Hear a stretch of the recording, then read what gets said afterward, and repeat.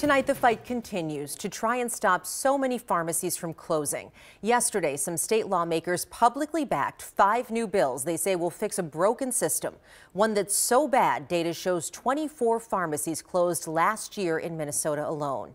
And now a unique business is stepping up to maintain access for people in areas called pharmacy deserts. Jennifer Hoff is here to show you the medication vending machine, and it's made right here in the metro. Jennifer. Rena, imagine it combines the security of an ATM ATM with the simplicity of a pop machine, an invention created 25 years ago that's now available worldwide, full of dozens of medications that you can get with the push of a button.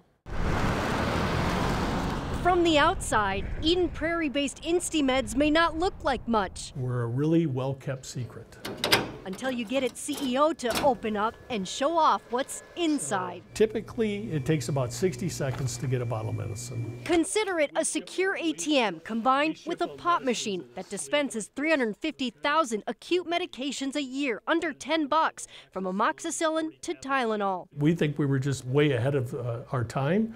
And with now the pharmacy closures that are happening, we see a, a, a pent up demand for our product now.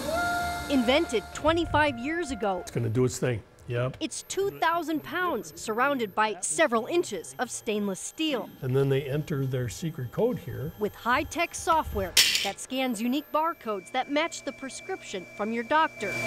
Regulation requiring it's usually within the ER or urgent care, serving people in 29 states where access to pharmacies is already low and barriers are high. Some of our customers, for instance, in Thief River Falls, their only alternative was to drive 60 miles uh, to Grand Forks, North Dakota. If people aren't getting their medicine, they're not getting better. And we're connected to 27,000 health plans throughout the United States uh, to be able to cover that uh, for the patients.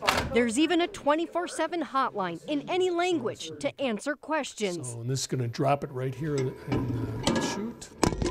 Pretty cool. A unique machine looking like a lifeline for a lot of people. We think the next five years look very promising at this point in time.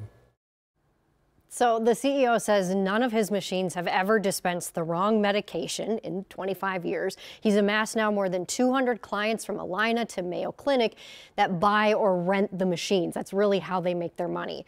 And there aren't any other companies like this throughout the entire United States, but InstyMeds did partner with something similar in the Netherlands, where there are looser regulations that allow them to specialize more so in refills and dispense up to 10 million prescriptions every year. Lauren. Well, it's fascinating. Jennifer, thank you.